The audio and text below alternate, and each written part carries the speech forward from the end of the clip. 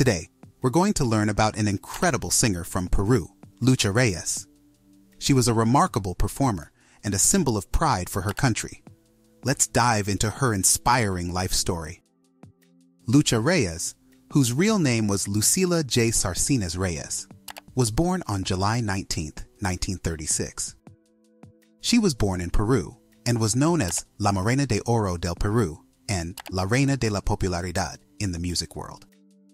With her unmatched voice, Lucha became the undisputed queen of Peruvian music from the 1960s to the early 1970s. She touched the hearts of many with unforgettable songs like Regresa, Tu Voz, Una Carta al Cielo, and the iconic Mi Ultima Canción. In 1920, Lucha Reyes traveled to Los Angeles, where she gained fame and admiration among the Hispanic community.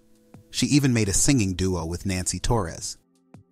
However, her heart remained in Mexico, and she returned home in 1924.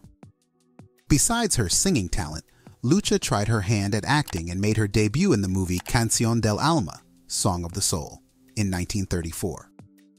She acted alongside famous stars like Pedro Armendariz, Dolores del Rio, Jorge Negrete, and others in six movies between 1937 and 1943.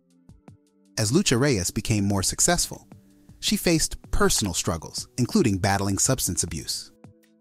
Sadly, on October 31, 1973, on El Día de la Canción Criolla, the Day of Creole Song, a significant day for Peruvian music, she was found dead at the age of 38.